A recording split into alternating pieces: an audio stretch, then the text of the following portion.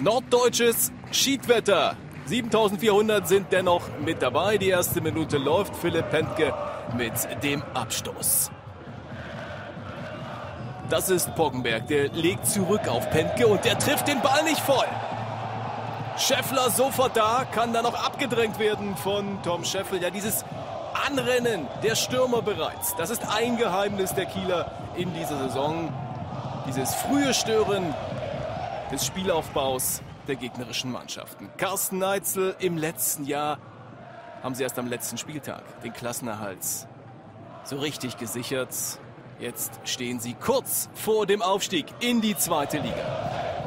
Tim Danneberg am Donnerstag ist er 29 geworden. Sieht den Freistoß des Ex-Chemnitzers Mike Kegel. Der ist ja im Sommer gekommen. Scheffler legt auf für Mark Heider. Geht ganz schön einfach. Chemnitzer komplett tief in den 16er gerückt. Da reicht diese eine kleine Ablage. Das ist das, was die Kieler von Scheffler immer wieder sehen wollen. Ball sicher machen und ablegen. Das ist Bockenberg, der vier Jahre ja hier in Kiel auch gespielt hat, von 2008 bis 2012, den sie unbedingt in Chemnitz halten wollen. Gibt dann auch ein paar Diskussionen, ist ja nur ausgeliehen aus Wolfsburg. In zwei, drei Wochen soll es mehr geben. Pockenberg mit dem Blick und dem feinen Ball auf den Fuß von Reggio Fosu. Der gegen Kohlmann auch vorbei an Haider und dann dieser Strich. Chemnitz führt's. Reggio Fosu mit dem 1-0 nach 20 Minuten. Tolle Einzelleistung von Reggio Fosu. Die Chemnitzer Bank sitzt hier im Regen und hat dennoch Spaß. Kein Wunder.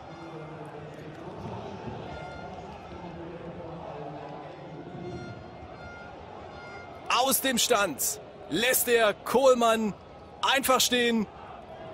Haider kommt auch nicht hinterher und dann visiert er das lange Eck an. Kenneth Kronholm ist da vielleicht auch ein bisschen die Sicht versperrt.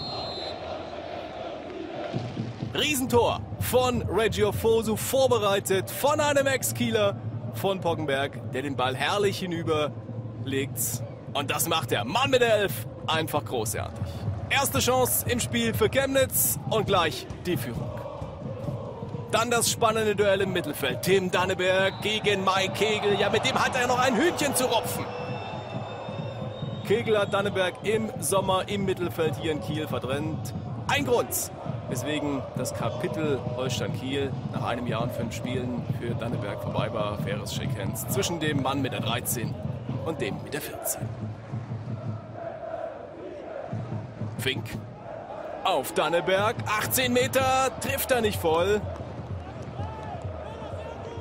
Tim Danneberg heute mit dem 195. Spiel in der dritten Liga. Und damit ist er einer der Top 10, was die Einsätze in der dritten Liga betrifft. Wieder das frühe Stören, die Balleroberung der Kieler. Ball landet schnell bei Rafael Cazio. Der hat volle, freie Sicht und Schussbahn. Bentke, Riesentatz. Der Kapitän im Sommer wird er gehen. Zur U23 nach Bremen. Der wird fehlen. Elf Tore, der beste Kieler. Erst letzten Sonntag zweimal getroffen beim 2-2 in Halle. Jendrosek, Heine steht auf. Bittermann, Sie sehen wieder Mike Kegel. Der legt auf für Scheffler und der macht das Tor. Zwischendrin noch Heider mal dabei. Ausgleich 1 zu 1 nach 36 Minuten. Herrlich herausgespielt, herrlich kombiniert haben sie das. Manuel Scheffler mit dem Olibar. Seit Mitte Februar steht ein bisschen was über seiner Oberlippe, obwohl es ja eher ein Olibär ist, ein Oberlippenbärtchen. Viel ist da nicht. Egal, der wird er erst abrasieren, wenn sie wieder verlieren. Jetzt zumindest sieht es danach nicht aus. Nach diesem Ausgleich, diesem tollen Kopfball, Tom Scheffel kommt da nicht richtig mit hin, lässt den Stürmer gewähren. Mike Kegel, alle ruhenden Bälle von ihm. Scheffel und Kohlmann, Endres gerade noch dazwischen. Patrick Kohlmann, der hat noch nie getroffen für Kiel. Jetzt war er nah dran, aber der Wadenblock von Endres verhindert 1-1 der Stand zur Pause. Carsten Hein hat vor der Partie gesagt, schauen wir mal, ob wir gegen ein Top-Team der Liga mithalten können. Das können sie. Insbesondere jetzt, zu Beginn der zweiten Halbzeit. Gleich der CFC mit Turbostarts. Anton Fink und Krumm. Vier dicke Chancen in acht Minuten für den Chemnitzer FC zu Beginn dieser zweiten Halbzeit. Wir zeigen Ihnen die Besten. Anton Fink, der 16-Tore-Mann, nur Bielefelds Klos. Ist ja besser in der Liga. Wieder Fink. Der kann nicht nur schießen und Tore schießen, der kann auch vorlegen. Reggio Foso. Erneute Führung hatte er hier. Auf dem Fuß. Aus vollem Lauf jagt er den Ball auf die Tribüne.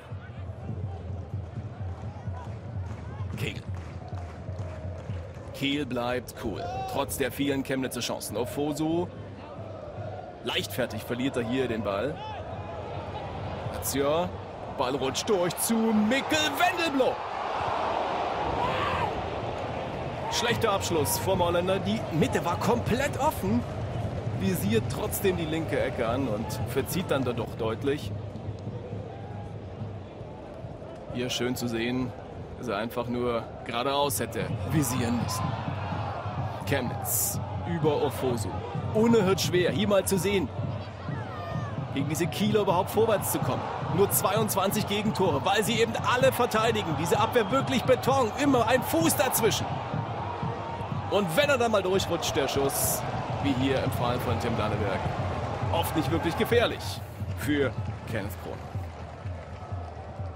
Cincotta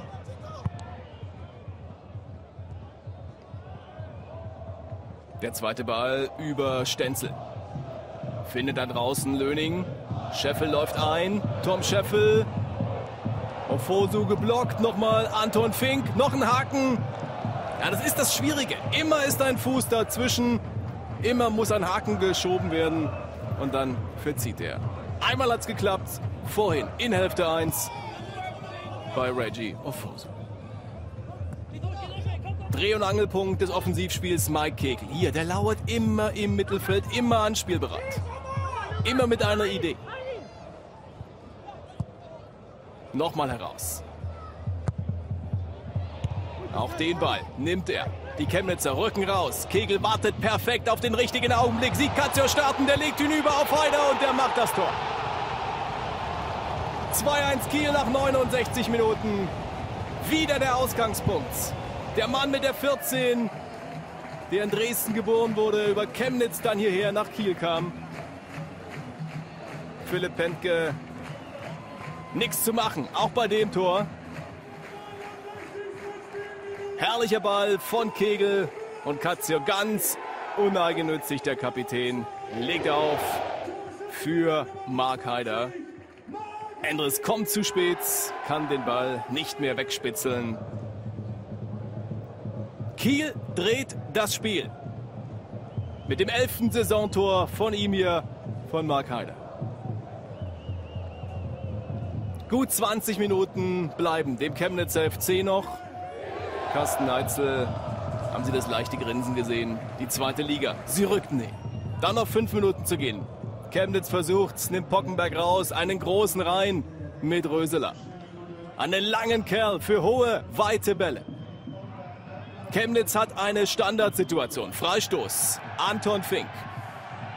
Und Röseler orientiert sich nach hinten, schleicht sich hinter den ganzen Block da hinten. Und der bekommt den Ball. Röseler Pfosten und Endres.